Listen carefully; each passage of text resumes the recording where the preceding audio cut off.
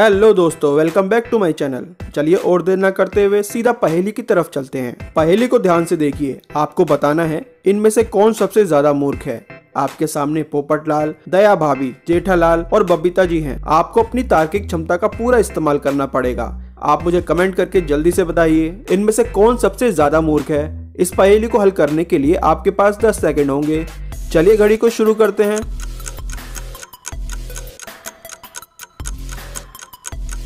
आपका समय खत्म होने वाला है। समय समाप्त। उम्मीद है दोस्तों, आपको इस पहेली का जवाब मिल गया था। अगर नहीं तो चलिए जवाब जान लेते हैं। बबीता जी सबसे ज़्यादा मूर्ख हैं। जरा देखिए, उनकी कार को उनका कुत्ता ड्राइव कर रहा है। दोस्तों, मुझे कमेंट करके बताना, अगर आप मेरी बात से सहमत हैं। चलिए दोस्तों, आज की अगली पहेली की तरफ़ चलते हैं।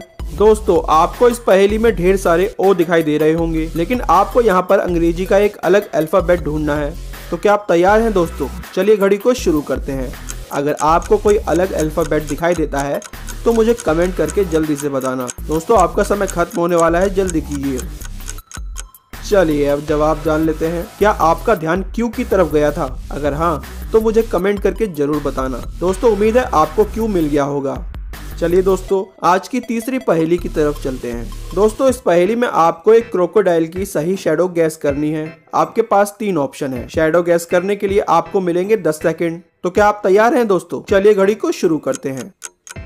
अपना जवाब मुझे कमेंट करके ज़रूर बताना। समय समाप्त। चलिए अब जवाब जान लेते हैं। दोस्तों, उम्मीद है आपने इन सभी पहेलियों को हल कर लिया था। अगर नहीं किया तो निराश होने की ज़रूरत नहीं। क्योंकि मैं इसी तरह की मज़ेदार पहेलियाँ रोज लेकर आता हूँ। आप मेरे चैनल को सब्सक्राइब ज़रूर करें ताकि आपको सभी पहेलियाँ समय पर मिलती रहें। आज की वीडियो में इतना ही। Thanks for watching